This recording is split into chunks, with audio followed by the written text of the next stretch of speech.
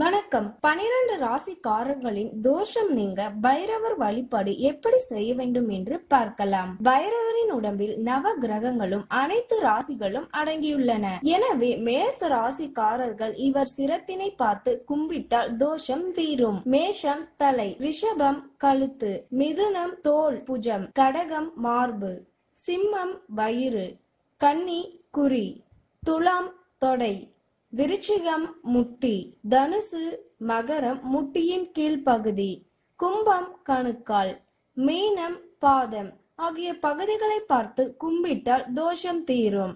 நீங்கள் நினைத்த காரியம் நிறைவேற வேண்டுமானால் விளக்கினை கால பைரவர் சன்னதியில் ஏற்றிவிட்டு கோவிலினை பதினெட்டு சுற்றுகள் அல்லது எட்டு சுற்றுகள் சுற்றி வர வேண்டும். இந்த வழிமுறையினை பனிரெண்டு ஞாயிற்றுக்கிழமை மூன்று தேய்பிறை அஷ்டமி தினங்களில் கடைபிடித்தால் நீங்கள் நினைத்த காரியம் விரைவில் நிறைவேறும். குழந்தை பாக்கியம் இல்லாத கணவன் மனைவியர் ஆறு தேய்பிறை அஷ்டமியில் பைரவருக்கு சிகப்பு அருளியால் பைரவ சகசர நாமம் அர்ச்சனை செய்தால் விரைவில் குழந்தை பாக்கியம் கிடைக்கும்.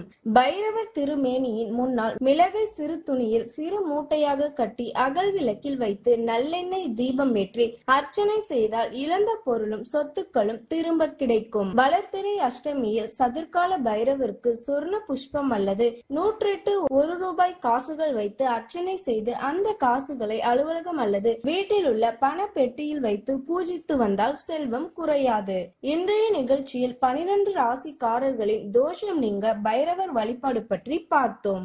இந்த வீடியோ உங்களுக்கு கண்டிப்பாக பிடிச்சிருக்கும். பிடிச்சிருந்த உடனே லைக் பண்ணிடுங்க ஷேர் பண்ணிடுங்க. அப்புறமா இந்த வீடியோ யூஸ்ஃபுல்லா இருக்குன்னு நினைச்சீங்கன்னா உங்க நண்பர்களுக்கு ஷேர் பண்ணுங்க. மறக்காம உங்க கமெண்ட்டை எங்களுக்கு அனுப்புங்க. சோ நான் ரொம்ப ஹாப்பியா இருக்கேன் உங்க கமெண்ட்டை படிக்க. இந்த வீடியோ பார்த்ததற்கு ரொம்ப நன்றி. இன்னும் நல்ல நிறைய வீடியோவோட உங்களுக்கு பிடிச்ச மாதிரி வந்து சந்திக்கிறேன். அதுவரை உங்களிடமிருந்து விடை பெறுகிறேன் நன்றி.